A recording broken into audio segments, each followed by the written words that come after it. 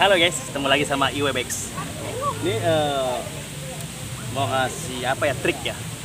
Untuk ngajarin gak ya? Saya bukan guru. Jadi mau ngasih tahu trik eh, pemula ya. Untuk anda yang ingin eh, ber- termotivasi anaknya untuk eh, menjadi pemain BMX eh, flatland ya. Jadi ini eh, skala standarnya dulu. Eh, caranya main roda depan. Jadi maksudnya itu mengajak biar anak itu mau dulu gitu. Ketika dia sudah suka satu trik dia akan lanjut eh, ke trik yang lain. Jadi kasih taunya itu cari yang mudah dulu. Jadi eh, kemungkinan seperti ini yang mudanya ya. Oke, eh, main roda depan ya. Jadi eh, sama pencet rem depan dulu. Pencet rem depan ya. Oke, eh, terus caranya gini. Pencet depan, stangnya putar ke kiri. Oke. Pencet rem depan, rem depan pencet ya. Ini rem depan pencet.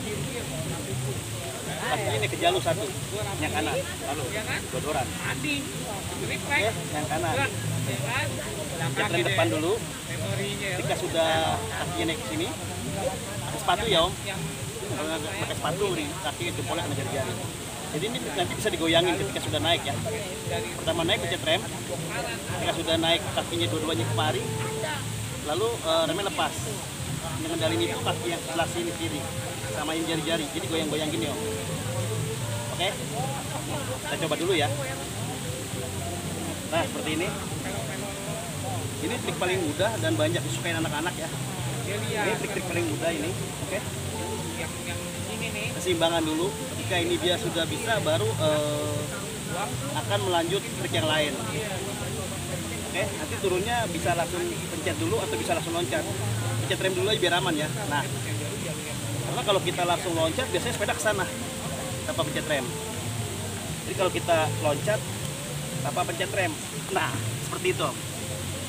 Jadi eh, suruh anaknya pencet rem dulu pas mau loncat ya, pas mau turun.